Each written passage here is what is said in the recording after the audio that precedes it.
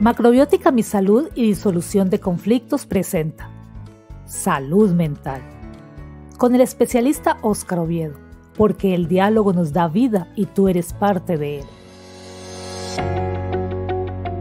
Muchas veces las alegorías o las ilustraciones son poderosas para poder entender mejor la situación que nosotros mismos estamos pasando. Jesús utilizaba diariamente en su ministerio las parábolas y allí ejemplificaba sus poderosas lecciones. Sus oyentes se iban analizando la ilustración y llegaban a las conclusiones de una manera única y la lección no se olvidaba. A nuestro consultorio llegó una mujer con una dependencia emocional inmensa.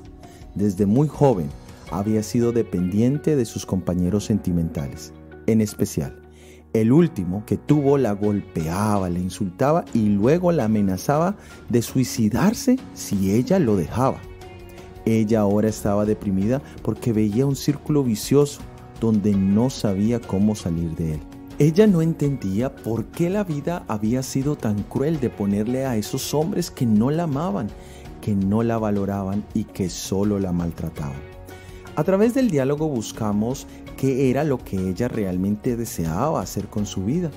Ella decía que quería experimentar paz, tranquilidad, para así poder tener una mejor vida para ella y para su familia. Allí utilizamos una figura llamada la externalización del problema. Para ello buscamos entender a su esposo, qué le motivaba a tener esos comportamientos agresivos hacia ella y luego hacia sí mismo. Ella misma dijo que era falta de amor por sí mismo. Si él no se amaba, le era muy difícil amar a, otra persona.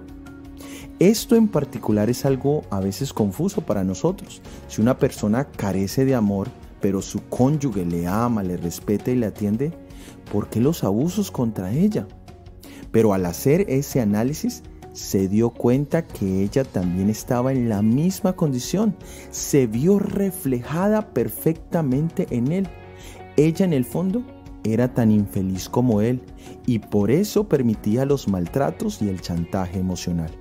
Ella carecía de amor por sí misma y de seguir así, muy pronto ella repetiría los mismos comportamientos agresivos y manipuladores con su hijo pequeño o con sus familiares cercanos.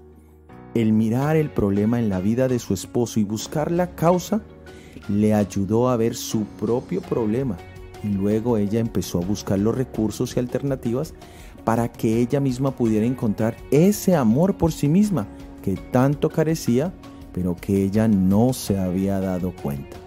Por eso, te invitamos a participar en uno de estos diálogos generativos y así buscar la ruta y los recursos más favorables para tus conflictos personales, laborales y familiares. Te esperamos.